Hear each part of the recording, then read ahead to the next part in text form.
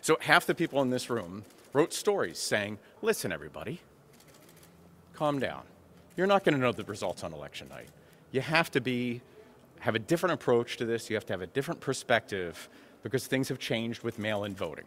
When half of the votes in the city are cast by mail and half of the votes are at the polling place, counting votes cast by mail, if you're going to do it right and you're going to do it accurately because there's no other choice, takes a little bit of time. So I know that's very frustrating. It's frustrating for you, it's frustrating for us.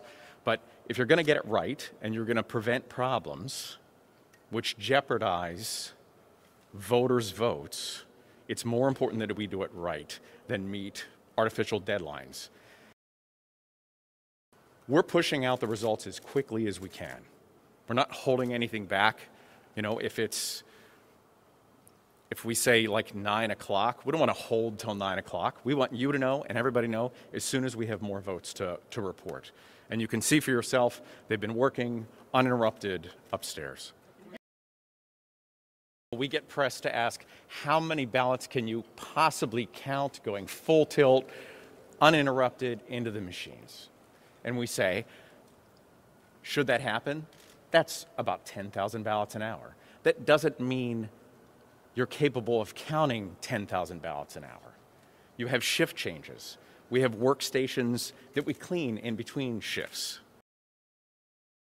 It's it's a cascade, right? So it's a the what's going on is like an assembly line.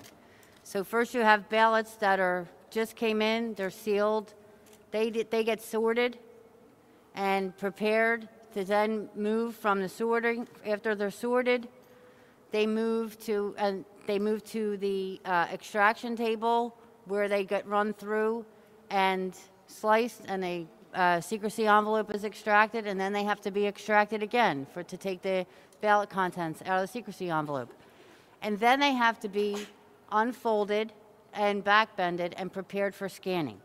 That takes it takes time. It takes time to open that those many ballots. As everybody knows, that's why we knew that it was going to take longer.